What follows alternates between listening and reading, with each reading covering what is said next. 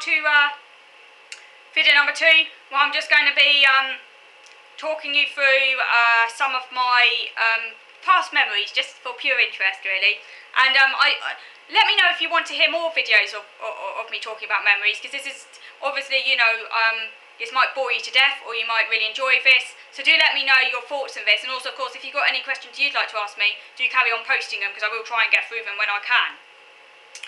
Um, so I guess it's just random memories, really. Um, about my time at primary school. Um, now I'm the type of person that I do often kind of think a lot about the past. Um, I, I, I very am drawn to memories. I like going over them in my head, past experiences, you know, just running them through in my head, you know, experience, it's like you can experience it again, you know, by going through the, the good memories, you know. Um, and um, I do that a lot. I don't know why I do it. I, I guess it's just because I kind of like to feel a certain connection with things and what happened in the past and it try to make sense of it maybe. I often think about my time at primary school um, in year six. Now, year six was actually my best year of primary school. Um, it took me ages to get used to primary school um, in, in a sense that before year six, it was just somewhere I went. You know, I went to school. I didn't, you know, I didn't put up a fuss or anything. It was just, you know, it, it, what you did. You know, I just went along with it. It's just what you did. But I didn't really like. I was just, I guess, yeah. I mean, it was okay going to school, but primary school that is. Secondary school was another ball game. But um, it wasn't something that you know I really, really, really loved either. Um, it was year six was the best year of primary school for me, and I'd happily go back and do year six again. That was the best year of my life, aged 10 to 11. So full of optimism, so full of hope for the future. Um, you know, yes, that was the best year for me. I had a lovely teacher called Mrs. Baker, and I think this was, um, that obviously helped the fact that I had such a nice teacher, because previous years' teachers were sometimes a little bit strict. Mrs. Baker was a softie. She never shouted. She was really nice. Um, I mean, I did mess around a fair bit in this year because I knew Mrs. Baker would never shout, so I knew I could get away with it. So sorry, Mrs. Baker. You, you know, she had to put up with my tomfoolery, though. You know, I'm sure I caused her a fair amount of grief, but um, she was really nice and she never like really severely castigated me or anything. Um, one of the things I do, I was a little bit of a naughty kid, so sometimes what I do was I sit at my work table and um, I blow my cheeks out and tap them like this Yeah, I remember doing that. Um, I don't know why I did it. I think I often I just did it because I was bored and because it was it, it literally did make the other kids laugh. Like there was a boy who sat across from me and he always found it really funny when I did that. Um, so I got a reaction. Um, I remember doing that in year six. Um, and also I was a bit mischievous, mis mischievous um, during um, story time because I'd mess around on the carpet blowing raspberries. So I ended up getting, and finding it hilariously funny of course, but um, I ended up getting sent out of the room a fair number of times. Um, but as I say, Mrs. Baker never shouted at me. She was a really nice teacher. But I did obviously maybe take advantage of that a little bit and was a bit more naughty than I probably would have been with a teacher who was more strict. Because in the previous year, in year five, the teacher, another Mrs. Baker, was a lot stricter. So although like I sometimes didn't do the work and stuff, a lot of the time, in fact, I was just daydreaming. But I did it in a more like passive way where I'd just be like staring out of the window, but I wouldn't be like actively messing around because I knew I'd get shouted at. Um, so yeah, so I did misbehave a few times, I'm afraid to say. Now, uh, one of the reasons why I think year six was actually my favourite year um, was because we learnt about the human body in this year and I became so interested that I sat riveted to every word Mrs. Baker said and wrote everything down in my notebook. I remember this really clearly. She would tell us all about the human body. I love school because we were learning about the human body. This was the most amazing subject. Um, obviously now I know, yeah, obviously that was a, a special interest, you know, like autistic people, obviously we do get very obsessed with things, and um, obviously I didn't have that vocabulary to describe it back then, but it clearly was a special interest because I was really quite intensely obsessed with the human body in a good way, in a good way. Um, but you know, I bought lots of books about it. I knew all the facts. I had this book all about you know all the processes of the human body. Um, you know, I even got a um, a skeleton kit that my mum helped me with. You know, to make an actual um, a skeleton hung, you know, hung in the um, in a wardrobe. Um, so yeah, I loved it, anatomy, everything. Um, so I was really, I took, I wrote down everything she said, everything, you know, all the, um, you know, the bodily crises such as puberty, periods, you know, what happens when we're sick, everything fascinated me about the human body at this age. Um, um, so yeah, it was one of the rare times I was engaged at school, concentrating instead of my usual daydreaming. Um, this just shows, you know, how our special interests are such great motivators. We also studied the ancient Greeks in this year as well, which was another interest. Not as intense as the human body, but I did find the ancient Greeks very fascinating, particularly when we learned about the foods they ate and stuff like that. So yeah, all round, this was a great year. Oh yeah, we did a solar system as well. That also fascinated me. Lots of things, not to the same extent, but it still fascinated me. Lots of stuff in this year we did that I found very enjoyable. Um, I received a book about puberty, age 10, but my mistake was to bring it into school and read bits of it out to year one children in the playground. Um, in the school, um, it was like a, a, a playhouse. Um, I thought it'd be really funny um, just to like educate them about puberty and, and not realising, well, I don't know if I didn't realise it was inappropriate or whether I just didn't care because I just found it amusing anyway. But anyway, I got told off for that and um, basically my, my book was temporarily confiscated, so I did get a bit into trouble because of his interest. But you know, it's quite funny at the same time when I think back on it. at playtime, another th- great thing about year six and why I thought it was the best year was that at playtime I finally worked out how to skip in a team playground game when I was about 10 years old. So, you know, often um, kids, like girls, they would play skipping games, you know, two girls holding a rope, you know, and then like the kids would stand in line and one in, wouldn't they? And they go, in goes the doctor, in goes the nurse, you know, go do that jumping skipping game, you know, that kids do and um, I really wanted to learn how to do it. Um, but for ages I couldn't run into the rope, so I had to stand there while someone, you know, in the middle of the rope was, well, um, and then the rope would be, you know, um, what's the word? You know what I mean. I can't, I can't think how, how you explain it. But um, for ages I didn't know how to run into the rope. I had to stand there and let them, um, you know, move the rope over me. But finally, um, around sort of year six age, when I was 10, 10 years old, I finally worked out how to run into the rope instead of standing in the middle without running in.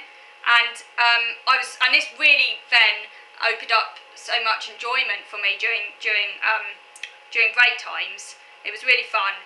Um, it did not matter then that I had few to no friends because this game had strict rules and all were included. That's a great thing about primary school games, unlike a secondary school, it's not so much small talk involved. So even if you're a bit socially awkward, if you can learn how to run into a skipping rope, the other kids will include you in that game, regardless of whether or not you actually get friend or anything. They're just glad that they've got other kids to run into the, run into the rope, you know? Great time. Um, yeah, so it made break times enjoyable for once. When I had no other activity to engage in at break, such as playing with the hula hoops or skipping, I would run around a playing field with my arms outstretched, zooming right past the other kids, like basically being an aeroplane. I did annoy them, um, obviously, I don't think they're too pleased to be running right past their games, you know, fast as an aeroplane, you know, being an aeroplane. I mean, I loved it. I loved the feeling of air against my arms. I was a, I was a very energetic child, so I could run really fast.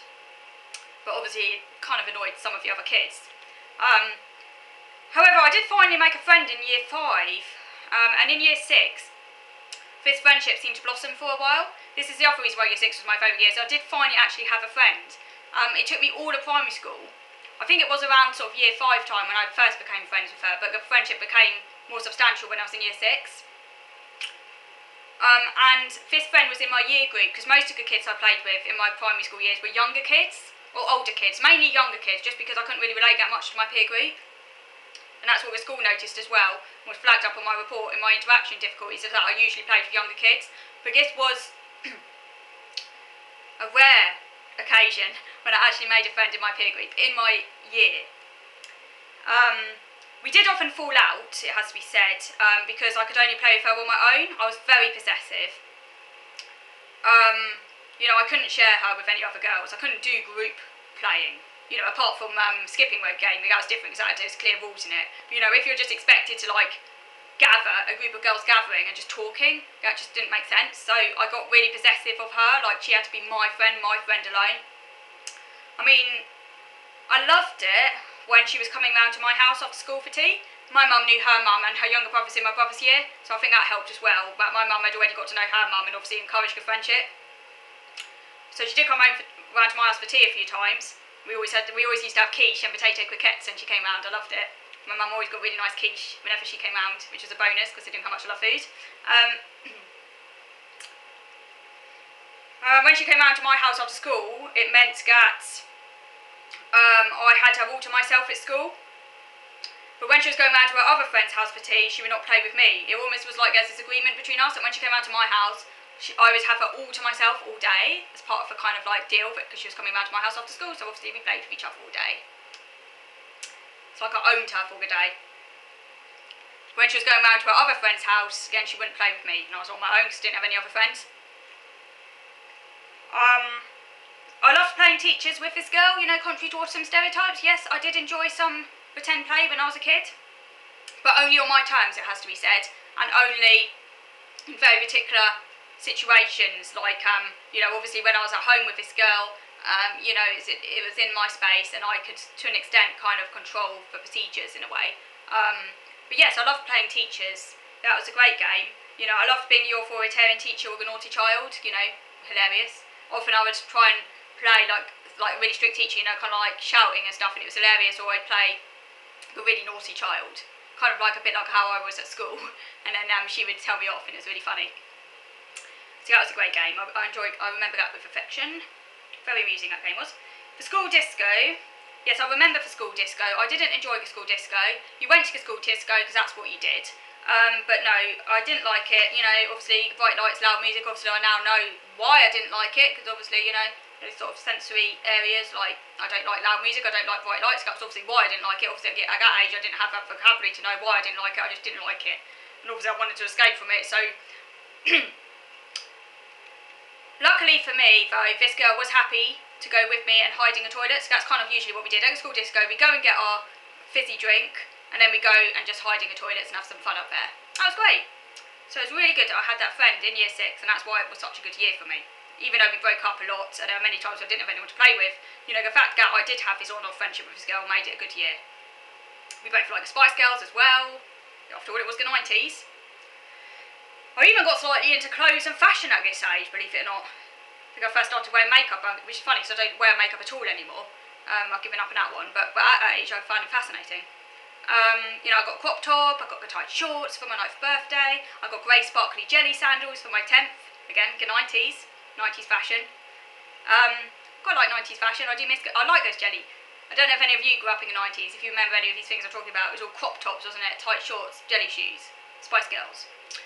In year, um, where was I? Oh yes, and then there was also for year six camp, and a girl I mentioned was automatically my sleeping partner. I remember, I do remember getting annoyed though at school camp when uh, she played with other friends. As I've already mentioned, I was very possessive. She had to be my friend. And um, I had brought a toy cuddly goat with me, and I kept running around them with the goat, making the goat talk, and trying to get them to play with me. I had no idea how to get them to like play with me, so I kept like running around them, like kind of being really silly and inappropriate. But I didn't know how to like share friends, so that was my way of trying to get the girl back. But obviously, it didn't work; just made me look weird. I do remember that. Camp food, it has to be said, was great. Um, we could pack our own lunch boxes, and I took crisps and I ate all the food I usually had limited access to. And my mum would never normally allow me to have that often, so that was a good thing about camp, but food. Yes. See, even these events that I might not otherwise really like, but because of the food. I mean, I liked camp, don't get me wrong, that was enjoyable too. Um, at this age as well, I didn't have quite so many phobias or OCDs, I think that's also why I look back on it with affection. I was a lot more carefree than I am now. But yeah, the food obviously made it really great for me because obviously my food, my lifelong food obsession. So obviously I would eat and eat and eat and eat. Teachers would be like, "Where do you put it all?" I'm like, "I'm going back for seconds for more, more." Yeah. um, yeah, we all had to write a camp diary, and um, I actually still have mine. So if you like, I can actually read it to you in my next video. Let me know if that's something you would like.